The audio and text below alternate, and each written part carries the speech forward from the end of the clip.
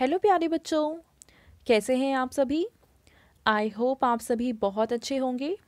बच्चों, इस वीडियो में हम डिस्कस करेंगे कक्षा तीन की वर्कशीट नंबर 134 ए जो कि 16 दिसंबर 2021 की वर्कशीट है और आज का विषय है हिंदी।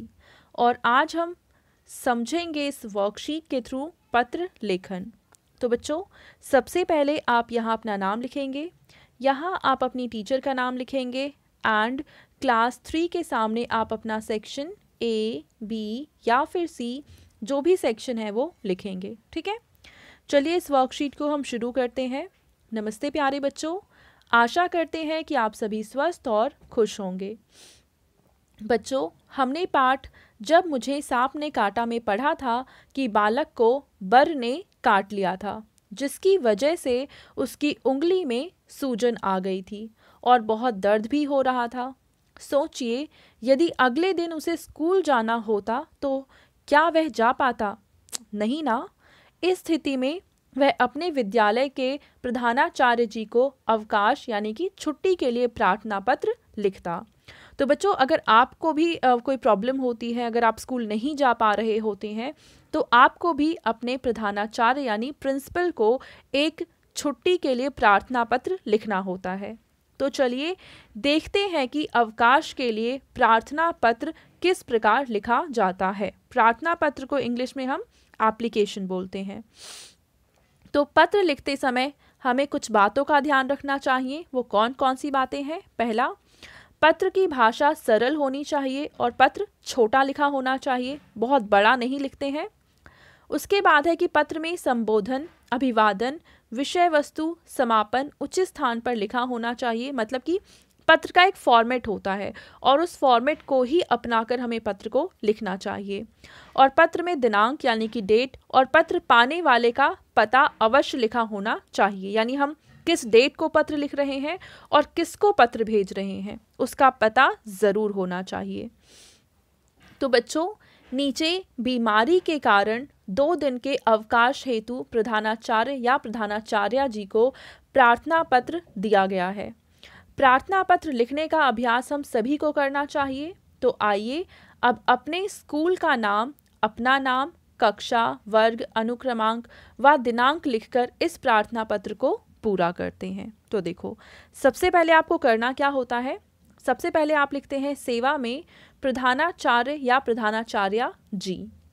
फिर आप अपने स्कूल का नाम लिखेंगे, आपके स्कूल का जो भी नाम है वो आप यहाँ पे लिख देंगे, ठीक है? स्कूल का नाम और पता। उसके बाद आप लिखेंगे विषय। विषय क्या है? बीमारी के कारण अवकाश हेतु।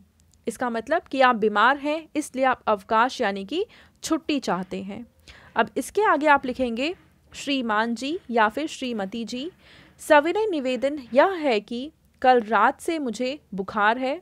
मुझे डॉक्टर ने दो दिन तक आराम करने की सलाह दी है।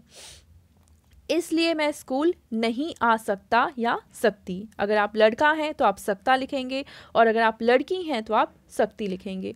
मुझे दिनांक डैश से दिनांक डैश तक अर्थात दो दिन का अवकाश प्रदान करें। आपकी अति कृपा होगी। तो यहाँ पे हमें लिखना होता है डेट जिस डेट से हम चाहते हैं कि हमें छुट्टी मिल जाए, ठीक है?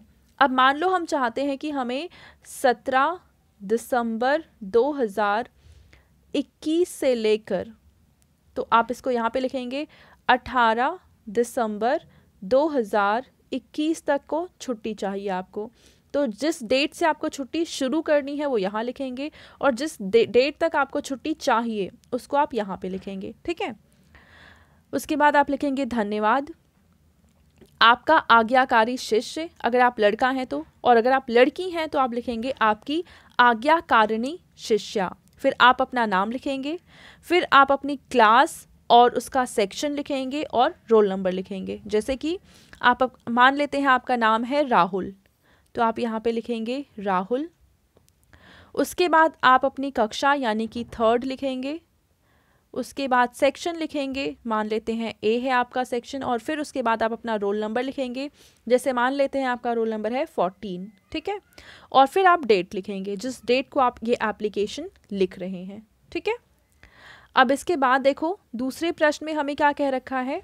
बच्चों, आपने प्रश्न एक में बीमारी के कारण अवकाश हेतु प्रार्थना पत्र लिखना सीखा।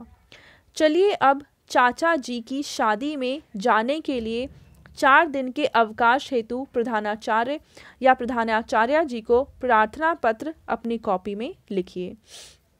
तो बच्चों, अब आपको क्या करना है? चार दिन की छुट्टी मांगनी है और अब विषय क्या हो जाएगा? चाचा जी की शादी में जाने के लिए चार दिन के लिए अवकाश, ठीक है? तो चलिए एक बार इसको हम लिख लेते हैं। तो बच्चों, आप इस तरीके से कुछ पत्र लिख सकते हैं, जैसे कि, सेवा में प्रधानाचार्य या प्रधानाचार्य जी, फिर आप यहाँ पे अपने स्कूल का नाम और पता लिखेंगे, फिर विषय लिखेंगे, चाचा जी की शादी में जाने हेतु अवकाश। श्रीमान जी या फिर श्रीमती जी, सविनय निवेदन यह है कि मुझे अपनी चाचा जी की शादी में अपने गाँव जाना है, कृपया मुझे चार दिन, अर्थात 17 दिसंबर 2021 से 21 दिसंबर 2021 तक का अवकाश प्रदान करें। धन्यवाद। आपका आज्ञाकारी शिष्य या फिर आपकी आज्ञाकारिणी शिष्या, फिर यहाँ आप अपना नाम लिखेंगे, फिर क्लास और रोल नंबर और फिर डेट, जिस डेट को आप ये लेटर लिख रहे हैं। ठीक है बच्चों? तो इस तरीके से आप ये लेटर लिखेंगे। चलिए आगे देखते हैं। अब आपके पेरेंट्स के लिए सुझाव है कि बच्चों को बताइए कि आज संदेश भेजने के लिए बहुत से साधन जैसे कि फ़ोन, इंटरनेट आदि होने के बाद भी हमारे जीवन में पत्र व्यवहार बहुत आवश्यक व महत्वपूर्ण है। जैसे कि जन्मदिन या शादी समारोह के लिए निमंत्रण पत्र, प्रार्थना पत्र व नौकरी के लिए आवेदन पत्र। तो बच्चों, आपको कार्यपत्रिका मज़ेदार लगी ना? अब बताइए कि आज आपने क्या नया सीखा। तो बच्चों, ये थी आज की हमारी हिंदी की वर्कशीट एंड आई होप आप सभी को ये वर्कशीट बहुत ही अच्छे से समझ में आई होगी।